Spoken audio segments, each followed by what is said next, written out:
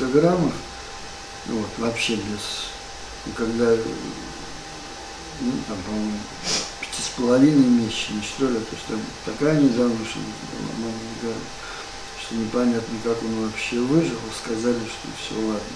И когда она через три месяца пришла в Пархалат, ей сказали, что у вас подменили ребенка, где то, где то, что было. Так что это мне все знакомо.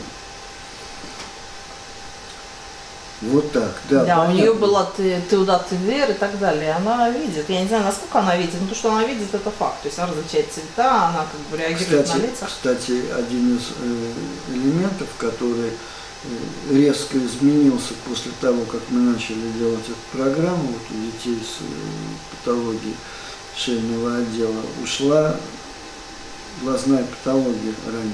То есть э, согласие, ранняя миопия. и так Не, у нее был диагноз полная слепота. То есть они там проверяли в больнице, значит, у нее был диагноз просто, что она вообще ничего не видит. И вероятно так оно и было Стопроцентная вначале. слепота, да. стопроцентная глухота по диагнозам. Ну, спастика такая, что там. Нет, спастика там была жутко совершенно, несколько она орала сутками, то есть как бы... Эм, что там еще там? Ну, ну, желудок не работал. Ну, в общем, Ничего когда ее не принесли, в возрасте полутора лет, она была вот такого размера, весила 5,5 килограмм. Так, ну, Ну, так есть ради чего работать. Ну, не знаю, не знаю. Ну, Сложно. вообще, в принципе.